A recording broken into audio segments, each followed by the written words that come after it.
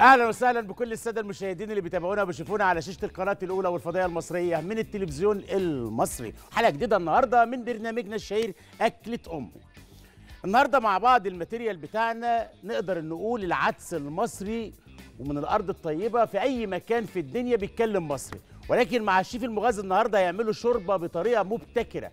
شوربة العدس بالطشة. مفيش حد أحسن من حد. طشة الملوخية طشة الفتة طشة الكوارع. أما العدس المصري بتاعنا لازم واقفة معاه. لما نيجي نشربه شوربة أكيد ليه وقفه خاصة في أيام الشتاء والبرد القارس. هنعمله شوربة النهارده بالطشة لا بالشعرية ولا بالرز ولا فتة. هنشوف نعمله مع بعض إزاي. أكيد تفاصيل صغيرة ولكن المعنى كبير والطعم جديد.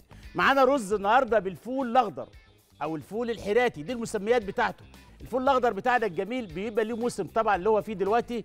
نقدر ناكل القشرة بخضرها وجمالها. لما بيتحصد بيتقشر طبعا ويتصدر ونستخدمه في حاجات كتيرة. فول مدمس يتعمل يتعمل مع الفتة. نعمله طبعا مدمس في رمضان الشهر الكريم. بنخزنه حاجات كتيرة للفول. بنعمله بصارة. هنشوف نعمله النهارده إزاي مع الرز المصري. رز بالفول الأخضر أو بالفول الحراتي بالتأكيد مع المغازي برضو ليه نيجي عند البطاطس عشان أطفالنا الحلوين. الأكلة المفضلة ليهم وأنا شخصيا وكلنا اتفطمنا عليها. بالتأكيد بناكلها مقلية بناكلها صينية ولكن النهارده هنعملها بالكزبرية. برضو بطريقة مبتكرة جديدة. هي البطاطس ما فيهاش أي حاجة. سلقناها وقشرناها بعد ما اتسلقت وليه سلقناها يا مغازي قبل ما نقشرها؟ عشان نحافظ على النشويات اللي موجودة فيها والكربوهيدرات وتسيبها لما تبرد وتقشريها. أكيد حلقتي فيها تفاصيل كتيرة معلومة غير معلومة. مش بنطبخ وبس بنستفيد كمان معلومات طهوية توصلنا المطبخ سعادة لأن مفاتيح السعادة هي في جيبك. هو المطبخ. هناخد بعضنا ونطلع فاصل صغير. اوعوا تروحوا بعيد تابعوني.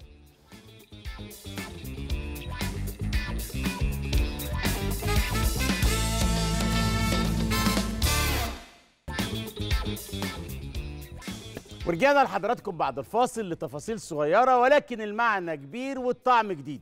العدس بتاعنا المصري الجميل آه طبعا في العدس أبو جبة اللي بيخش في طبق الكشري وده أساسي. والكشري مش كشري في الهند في الصين في أي مكان في الدنيا. ما علوش العدس أبو جبة بتاعنا ما يبقاش كشري.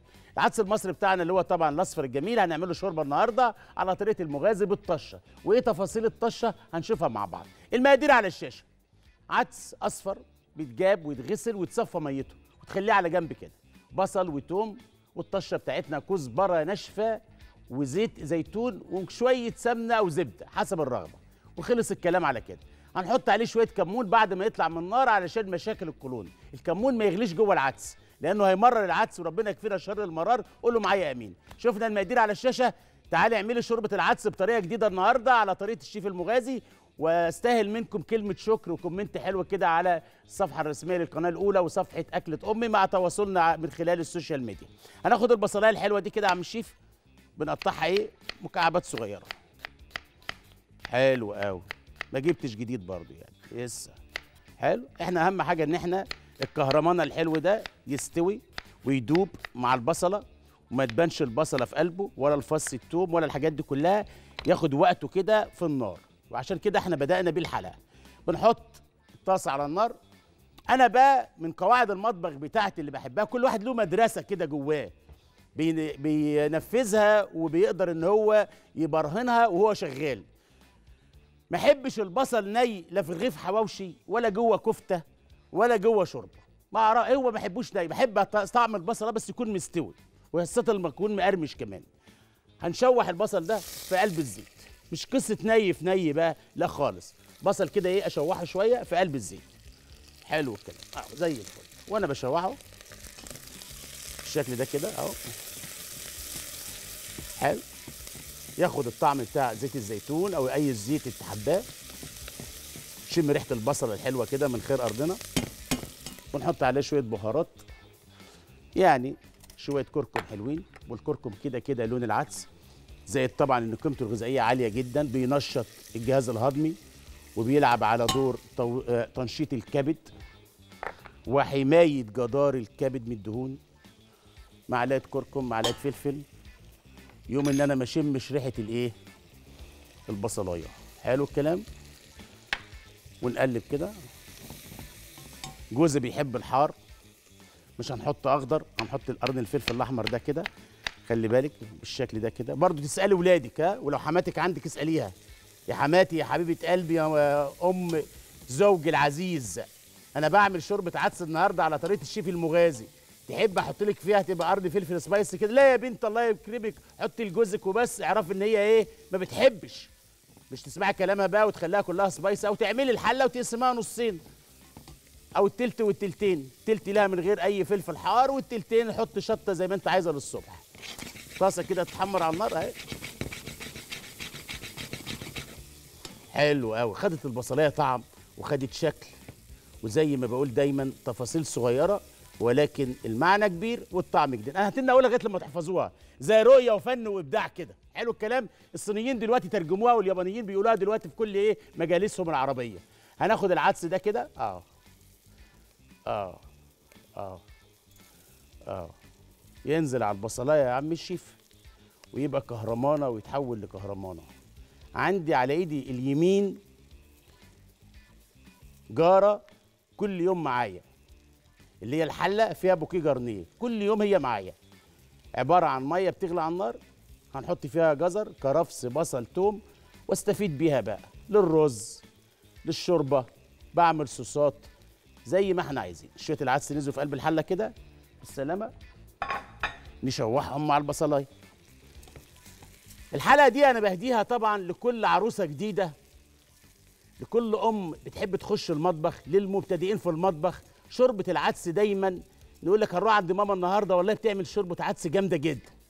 ممكن يكون هو السبب عشان نزور مامي أو اخد جوزي آه، ونروح نزور والدتي أو كان. ولكن أنت تعلمي تعمليها إزاي زي ماما وزي حماتك. إيه المشكلة؟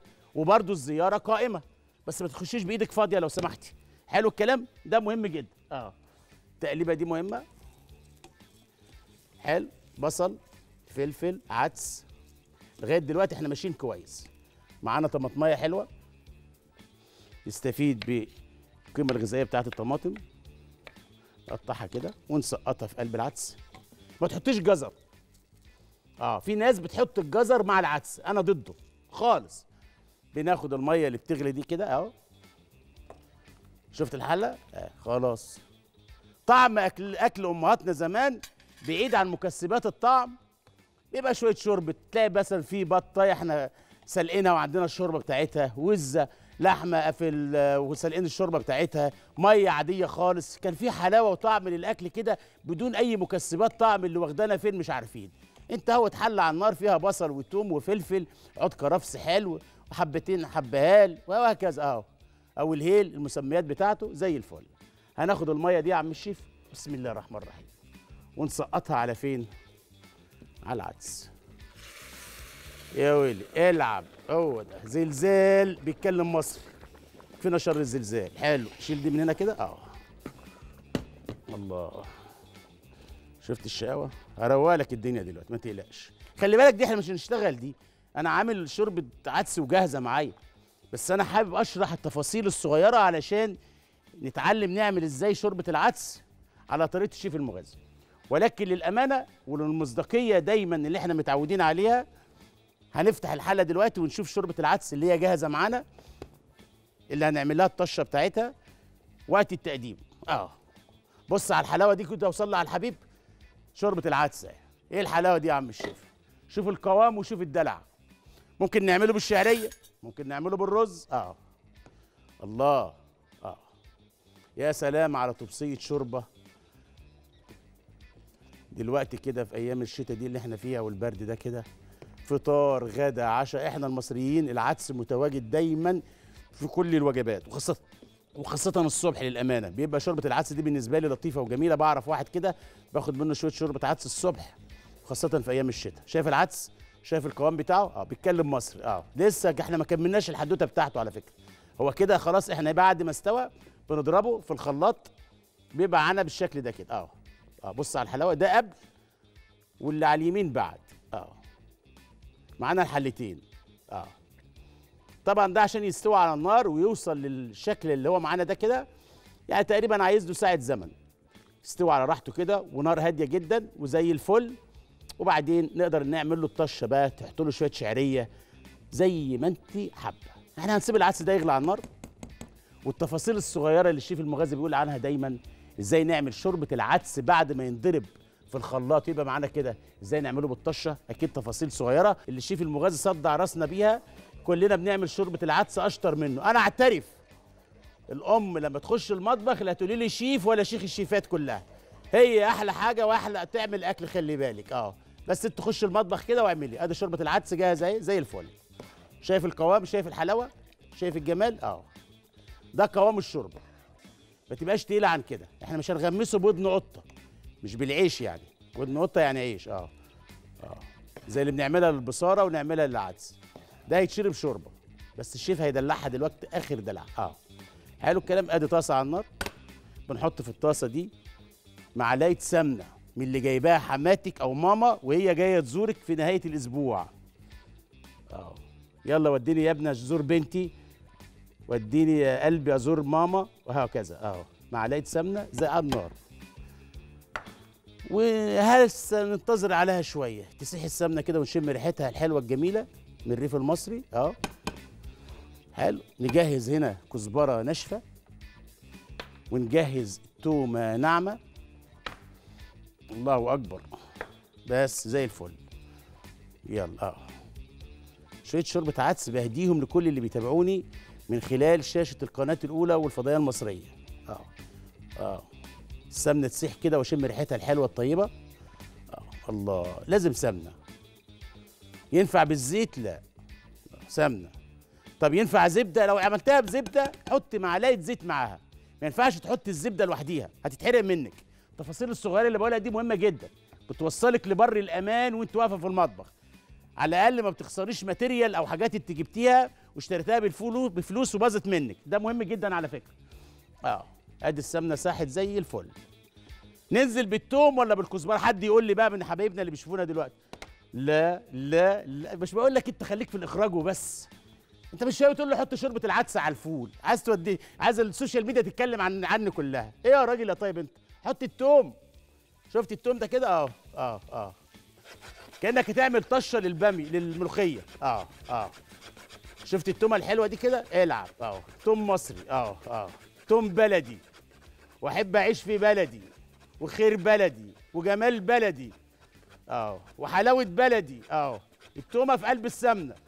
العبي يا تومة الدلاعي يا تومة مع الكزبرة الناشفة. آه اوعي تستني يا أختي يا أمي يا خالتي يا ست الكل اللي بتتابعيني على التومة لما تتحمر منك. هتمرر لك الشوربة.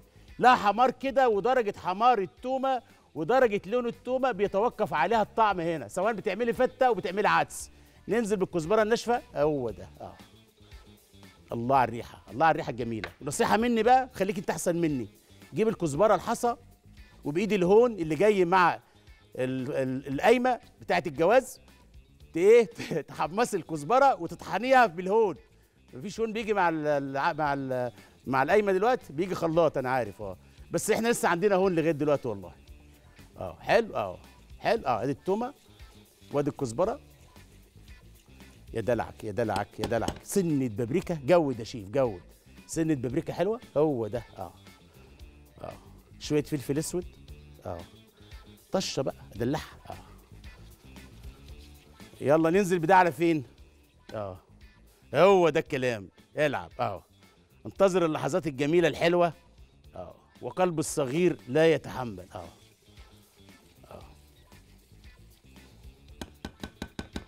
ناخد دي كده زي ما هي وعلى النار كده. اللهم صل على النبي. آه. ونرفع دي من هنا كده. آه. شوف هعمل إيه بقى الحركة دي كده. شوف الحركة آه يا ويلي يا ويلي يا ويلي يا ويلي. العب. آه. العدس بيتكلم مصر هو ده. زلزال. خلصت. آه. آه. بس خلاص. أحلى شوية شوربة في التاريخ. اعملوهم بالطريقة دي بس لازم ياخدوا غلوة على النار ما تستعجليش خلي بالك. لازم يتعرفوا على بعض خلي بالك. وهو بعد ما يطلع من النار رشة كمون عليه. بس خلاص. يستاهل السرفيز الحلو ده كده. بسم الله الرحمن الرحيم. يا صبابين العدس. زيدوا طشاتوا هي أصلا الأغنية بتقول لك يا صبابين القهوة زيدوا حالات آه. والله يا صبابين الشاي. آه آه آه. سامحوني يعني ها؟ أنا لما بتاخدني الجلالة كده وأنا في المطبخ بغني. بس ما ينفعش أغني على الهوا. صوتي وحش. لكن في المطبخ المدام بترضى بالغنى بتاعي عشان بعمل أكل. آه. إيه الحلاوة دي يا شيف؟ هو ده هو ده هو ده هو ده. آه آه. إيه الحلاوة دي يا عم الشيف؟ شوية عدس. لا يا عم كتاب مين يا باشا؟ كتاب مين؟ الكتاب ما يقولش الكلام ده. المغازي وبس. آه. شوربة عدس بالطشة. بسم الله الرحمن الرحيم. هي يعني هي المقولة تتقال زي ما بيقول الكتاب. لا. كتاب كلامه غير. آه. وأنا ما بحبش أحفظ. أحب أتفنن. آه. الله. لسه ما خلصتش. آه. شفت العدس؟ آه. عايزة بقى تستفيدي بالعدس ده وتشربي منه. مفيش أي انتفاخات ولا أي مشاكل صحية مع الكولون. ليمون وبصل معاك حق. بس هي رشة الكمون على شوربة العدس وهي سخنة. شفت الحلاوة دي كده؟ اشربي منها وعلى مسؤوليتي. الكمون طارد الغازات الكمون الزيوت اللي موجودة جواه بيهدي من روعة القولون. آه آه آه. زي الفل. تمام. تعال نشوف البطاطس هنعملها إزاي. نحط زيت زيتون. مطبخنا على شاشة القناة الأولى له تفاصيل صغيرة ولكن المعنى كبير والطعم جديد تقدروا تعملوا سفرة لطيفة وجميلة ولكن بحب. رؤية فن إبداع بنشوفه كل يوم على شاشة القناة الأولى والفضائية المصرية من ماس بيرو.